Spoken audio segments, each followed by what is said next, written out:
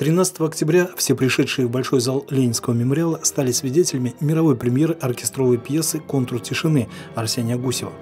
Он стал победителем первого всероссийского конкурса произведений молодых композиторов «Другое пространство», и это сочинение Илья Дербилов, который входил в состав дирижерского жюри конкурса, выбрал для исполнения в Ульяновске. Замечательный пианист и э, достаточно давно пишет музыку. И, кстати, его произведения уже Эм, исполняются. Во-первых, они исполнялись в Москве, там музыкальная сказка про Капитошку, вот, потом э, исполнялись в Омске. Э, и сейчас, когда мне раскрыли имя композитора этого сочинения, оказалось, что это тот самый Арсений Гусев, с которым я прекрасно знаком, и произведение которого мы все-таки хотели даже пустить в э, наш детский абонемент, просто еще как бы руки не дошли. Контур тишины, как отметил Илья Дербилов, произведение, которое отражает внутренний мир Арсения Гусева, но оно очень сложное для исполнения оркестра. А затем последовало воспоминание о дорогом месте.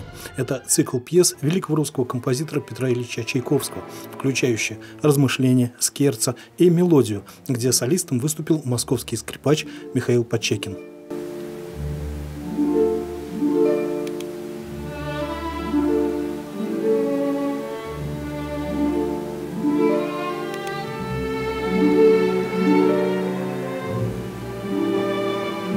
Эти три пьесы для скрипки с оркестром Чайковского, по мнению специалистов, тоже очень сложны в исполнении и требуют тончайшего взаимодействия между всеми музыкантами оркестра с солистом. Тем более с таким ярким скрипачом Михаилом Почекиным, представителем музыкальной династии и играющим на инструменте, сделанным руками его отца.